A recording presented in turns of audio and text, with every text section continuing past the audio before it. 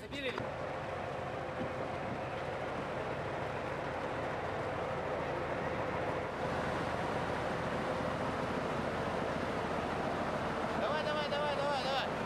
이 개발 계획에 따라 라진항을 통한 국제 화물 수송이 나날이 늘어나고 있는데 얼마 전에는 우리와 러시아가 협동하여 라진항 및 라진 핫산 사이 철도 개건 및 현대화를 위한 착공식을 진행했습니다.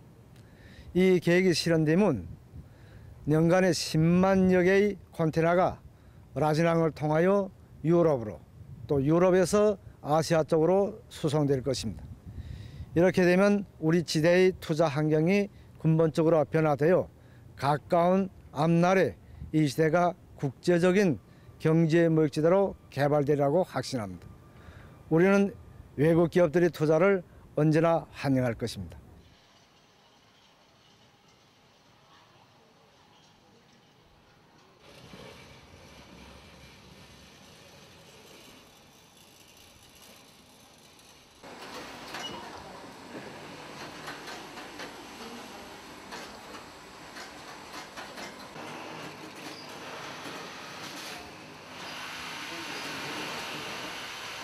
Очень рад открытию совместного управления железной дорогой между Россией и Корейской Народно-Демократической Республикой. Это исторический момент для совместного э, развития эко- экономики между двумя странами. Ну, э, с, с открытием этой железной дороги мы планируем э, большую работу проделать через порт Раджен. Основной груз у нас будет идти уголь.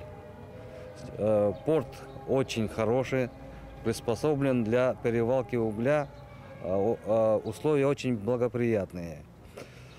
А также мы планируем э, через порт Раджин э, перевалить, пере- переваливать обратно груз в Россию. Для экономически, я думаю, для развития экономики очень благоприятный порт, порт Дрожжин.